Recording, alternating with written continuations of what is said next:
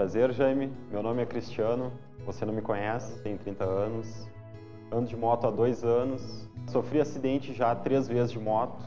Tive umas escoriações. Geralmente nas curvas, quando não está chovendo, a gente tende a, a chegar assim a 40, fazendo a curva e freando.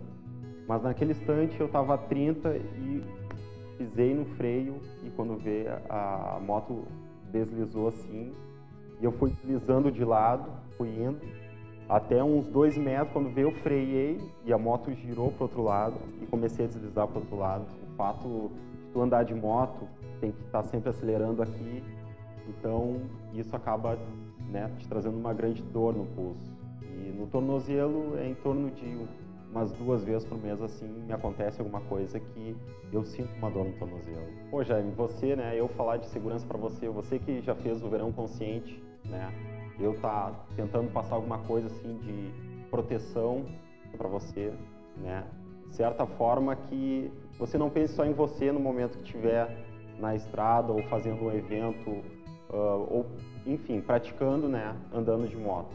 É bastante complicado assim. Se eu tivesse prestado atenção antes, pensar se alguém tivesse me passado alguma informação, né, que é bastante importante você utilizar esses equipamentos quem sabe eu teria evitado isso. A gente tem que prestar mais atenção, a gente tem que se cuidar mais. Não pensar só em si quando você estiver andando de moto. Meus familiares se preocupam muito comigo, assim a Gisele se preocupa com você.